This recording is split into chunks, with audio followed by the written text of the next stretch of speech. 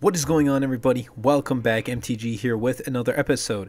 If you're new to the channel, hi there. Today, I want to show you guys how to get the Pixel 5 Gcam on your Android 11 or your Android 10 device. But before I do begin, I'd really appreciate if you can give this video a thumbs up and turn on the bell notifications as it does help out the YouTube algorithm and pushes my content to more people as we have recently passed 5,000 subscribers and so we can get to our next goal of 10,000 subscribers.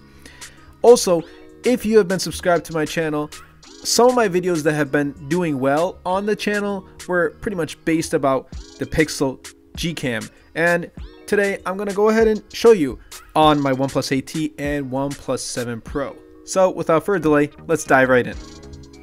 Okay, so it's pretty much straightforward. We're gonna head over to androidsage.com and I'll leave the exact link in the description down below.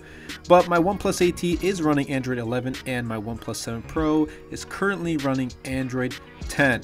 But once you head over to the link, you can download the exact Gcam mod on both devices and well, it doesn't necessarily need to be OnePlus, but you get the idea. Android 11 or Android 10 you gotta have to follow what's on screen. That's it. I'll put up some sample images, but I hope you enjoy this video.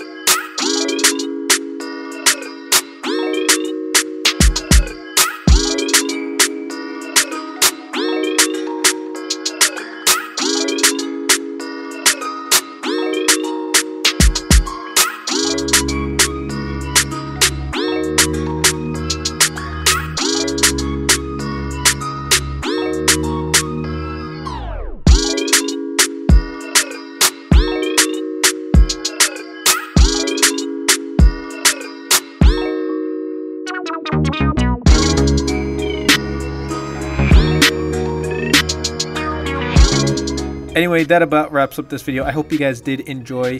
Pixel 5 is definitely a huge upgrade. The Gcam is definitely a huge upgrade if you don't like the camera on your Android 10 or Android 11 device.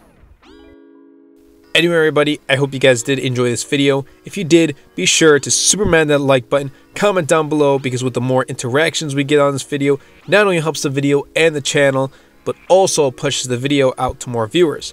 And best of all, Superman that subscribe button. Until next time, everybody, and until next video, this is MTG.